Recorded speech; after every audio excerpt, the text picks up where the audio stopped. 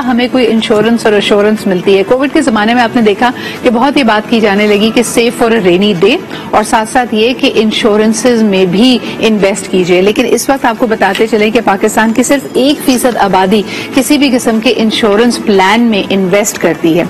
और उनको ये लगता है कि शायद ये भी इतना ज़्यादा वाजे नहीं है। इसके अंदर कई रिलीजियस एंगल्स भी लोगों के आ जाते हैं।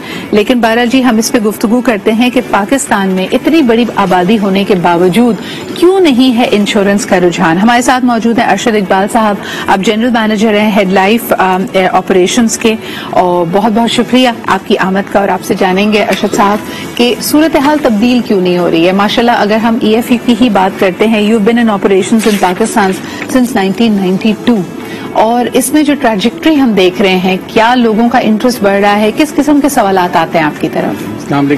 Thank you for inviting me in your show जी बिल्कुल ये बहुत वैलिड आपका सवाल है कि इंश्योरेंस की पेनिट्रिएशन बढ़ क्यों नहीं रही? जी। जो सबसे बड़ा मसला है वो अवेयरनेस का मसला है। आपको पता है जो लिटरेसी रेट है हमारे यहाँ पे और जो रीच है वो बड़ी चैलेंज है इंश्योरेंस कंपनीज़ के लिए।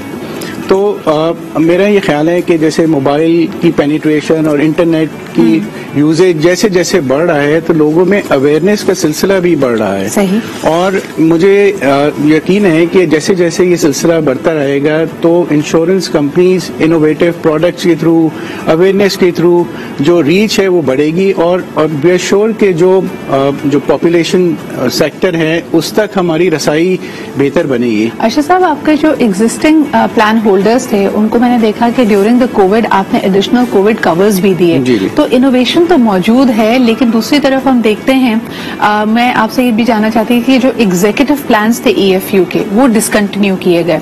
ये ऑलमोस्ट एक पेंशन प्लान की तरह होता है और आजकल के अगर हम प्रोफेशनल्स को देखें तो उनकी आ, वो जो लॉन्जिटिविटी थी कोई प्रोविडेंट फंड वाली सिचुएशन वो तो तमाम तर इदारों से खत्म हो चुकी है। People are working on contract या कंसल्टिंग तो बड़ा एक मुझे लगता था कि बड़ा ये कारामत साहब का एक पेंशन प्लान एग्जीक्यूटिव प्लान है।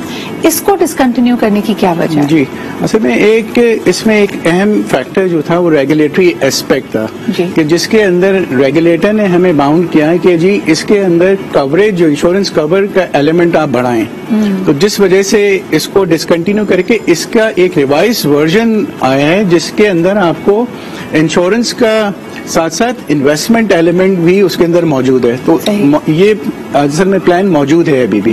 तो ये डिसकंटिन्यू नहीं हुआ है। अच्छा एक और चीज़ मुझे वाजे कीजिएगा कि बहुत सारे लोगों का ख्याल ये है कि इंश्योरेंस पॉलिसी एक इन्वेस्टमेंट प्लान होता है। तो जब वो ज़ाहिर सी बात है इसको मुख्तलिफ़ और इन्वेस्टमेंट प्लान से टूल से या फिर प्रॉपर्टी में इन्वेस्टमेंट से सोने पर इन्वेस्टमेंट से कंपेयर करते हैं तो उनको लगता है कि शायद मुनाफा कम है। तो ये जरा क्लैरिटी दीजिएगा कि this is not an investment tool जी बिल्कुल।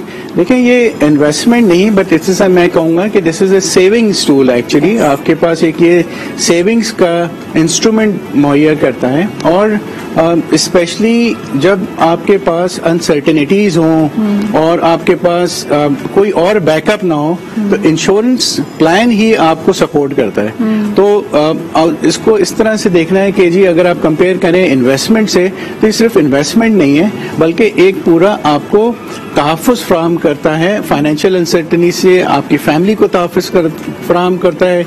जब आप इस दुनिया में नहीं होते तो ये इसका बैकअप किसी किस्म की कोई इन्वेस्टमेंट या कोई सेविंग्स का इसका नियमन बदल कोई नहीं है। हम्म, हम्म, तो बिल्कुल सही बिल्कुल सही। और ये बड़ा अहम है कि हम इसको इसी अंदाज में देखें। अच्छा मुझे ये भी बताइएगा कि इस वक्त अगर हम हाउस वाइफ की बात करें क्या आपने रुझान देखा है कि घर की खातन की भी इंश्योरेंस करवाई जाती है? बिकॉज़ कभी कभार जब मैं इंश्योरेंस प्रोडक्ट्स की तरफ़ देखती हूँ या आपकी कम्युनिकेशन की तरफ़ होती है तो हमेशा बात की जाती है उस शख्स की जो ब्रेड अर्नर है फैमिली के लिए जिसके ऊपर तमाम तर जिम्मेदारियाँ हैं जिसकी वजह से घर चलता है। खातन का इंश्योरेंस लेने का क्या पैटर्न या ट्रेंड है हमारे मुल्क में? देखिए सबसे पहले तो ज़रूरी है कि जो ब्रेड विनर है उसकी लाइफ इंश्योरेंस कवर्ड हो। वो एज अ सेकेंड स्टेप जो जो कि सेविंग्स का जो एलिमेंट है हम्म। उसके लिए आप हाउस वाइफ या अपने बच्चों की एजुकेशन या मैरिज के लिए प्लान्स जो हैं वो आप ले सकते हैं। और यकीनन ये कोविड स्पेशली टाइम्स के बाद ये लोगों में रुझान बढ़ा है कि अपनी लाइफ इंश्योरेंस के साथ एडिशनल सेविंग्स जो कि हाउस वाइफ्स के नाम पे बच्चों के नाम पे इसका रुझान यकीनन बहुत बड़ा है। बिल्कुल। अच्छा मुझे बताएँ कि एक जब हम बच्चों के हवाले से प्लान्स की बात करते हैं, जैसे आपने खुद कहा कि एजुकेशन या मैरिज प्लान्स ये अभी भी लिए जाते हैं? लोग इस तरह की प्लानिंग कर रहे हैं? जी, आप की मतलब मैं आपके नॉलेज के लिए मैं बताता हूँ कि हमारे पास ऐसे कस्टमर्स भी हैं जो हर साल अपनी वाइफ और बच्चों को हमारे पास लेके आते हैं और ये उनको बताते हैं कि देखें अब ये मेरा बेटा इतना बड़ा हो गया है और फिर वो आके बताते हैं कि देखें अगर मैं इस दुनिया में नहीं रहूँ तो आपने इनसे मिलना है, ये आपको जो है प्रोटेक्शन करेंगे तो आपको कोई किसी किस्म की परेशानी के लिए तो ऐसे माइंडसेट के भी लोग हैं। अच्छा कुछ वाजे कीजिएगा कि जब हम बात करते हैं एजुकेशन प्लान की मेरा अंदाज़ा ये है जितनी मैंने इसकी यू नो जो एस्टिमेट्स एंड प्रोफाइलिंग्स देखी हैं कि कम अज कम इसको आपको 15 से 18 साल देने चाहिए for it to give you the kind of return that you would want तो अमूमन बच्चे की उम्र क्या होनी चाहिए जब आप उसके लिए एक एग्जीक्यूटिव एजुकेशन प्लान में इन्वेस्ट करें? देखें the early you you know get an insurance policy the more benefits you get. तो ऑब्वियसली जितनी मैं तो ये कहूँगा कि जो बच्चे की पैदाइश के अगले साल बल्कि पहला बर्थडे गिफ्ट ही आपको एक लाइफ इंश्योरेंस पॉलिसी से देना चाहिए। इससे बेहतर आपको जो है गिफ्ट मुझे नहीं समझ आता कि आप कोई दें क्योंकि उसकी सेविंग्स और उसकी पढ़ाई की प्लानिंग आपने उसके फ़र्स्ट बर्थडे से ही करनी है।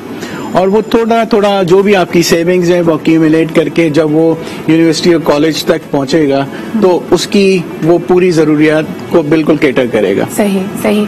और इसकी प्रोजेक्शन के बारे में क्या कहेंगे? लोग तो कहते हैं हम पाँच साल की प्लानिंग नहीं कर पाते, बच्चे की चार साल की डिग्री की नहीं कर पाते, क्योंकि जो पहले सेमेस्टर की फ़ीस थी बाय द टाइम दूसरा सेमेस्टर आता है, वो इन्फ्लेशन की वजह से बढ़ जाता है। तो ये प्लानिंग आपके एक्चुअलीज कैसे करते हैं? यानी अट्ठारह, पंद्रह साल, आने वाले पंद्रह साल में क्या कीमतें होंगी क्या दुनिया का हाल होगा हमें नहीं पता। तो व्हाट इज़ द प्रोजेक्शन देखिए बढ़ती महँगाई के आ, को काबू जी बिल्कुल काबू करने के लिए inflation protection benefit life insurance में शामिल किया जाता है। हम्म। जो कि आपकी जो महँगाई बढ़ती है महँगाई के साथ साथ उसकी वैल्यू की जो कदर है उसको भी बढ़ा के रखता है और 15 साल में जो आपने प्लान किया है और 15 साल के बाद उसको वो इन्फ्लेशन प्रोटेक्शन बेनिफिट मेंटेन रखता है। हम्म। तो जो उसका फ़र्क है वो बिल्कुल समझे कि ना होने के बराबर होता है। सही सही। तो मुझे ये बताएँ कि मैरिज प्लान मैं अक्सर देखती हूँ मैं पूछती हूँ कि सब लोग बेटी की शादी की तैयारी क्यों कर रहे होते बेटे के लिए कोई मैरिज प्लान देता है?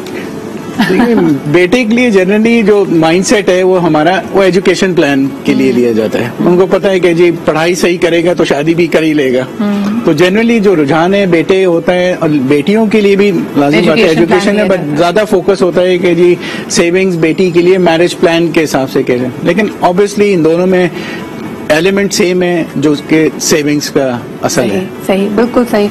अच्छा जी इसी के साथ मेरे ख्याल में ये वाले सेगमेंट में हमारे पास इतना ही वक्त था। आखिरी सवाल आपसे करना चाहेंगे कि मौजूदा महँगाई के दौर में आप क्या देख रहे हैं कि पीपल आर गेटिंग वरिड इस वक्त लोग ज़्यादा इंश्योरेंस ले रहे हैं या ट्रेंड ये है कि लोगों के को मुश्किल का सामना है? जी बिल्कुल कोविड जो है इसने लोगों को बहुत ज़्यादा इसके ऊपर मजबूर किया है कि वो अपनी सेविंग्स के ऊपर फोकस करें। हम्म। लोग इंश्योरेंस पहले एक समझाना ज़रा एक मुश्किल होता था लेकिन अब लोगों को ये बात समझाना मुश्किल नहीं है। इट जस्ट डिपेंड्स कि उनकी कैपेसिटी कितनी है वो कितनी सेविंग कर सकते हैं और उनका माइंडसेट क्या है। लेकिन आ, वो डिफिकल्टी जहाँ पे हम पहले देखते थे कि जी उनको आप पहले काइल करें लाइफ इंश्योरेंस के बारे में और फिर वो कोई माइंड बनाते थे तो वो एलिमेंट अब एग्जैक्टली exactly लोगों में अवेयरनेस और जिस तरह की आप अनसर्टेनिटीज लोगों ने फेस की हैं उसको देखते हुए लोगों का यकीन लाइफ इंश्योरेंस की तरफ़ जो है रुझान बहुत बड़ा है। बिल्कुल सही। बहुत बहुत शुक्रिया अर्षद आप हमारे साथ मौजूद होने के लिए। पूरी एक हमने अहाता खींचा जी इस वक्त की माली मुश्किल और मीशत की सूरत हाल के हवाले से और यकीन आपको इनकरेज करेंगे कि save for a rainy day और इसके लिए इंश्योरेंस एक बहुत अच्छा सेविंग सेविंग्स प्लान आपके लिए हो सकता है। इसके मुख्तलिफ़ आपकी सिचुएशन को देखते हुए but please remember the early you take an insurance plan the better it is इस वक्त हम लेते हैं एक छोटा सा break and will be right back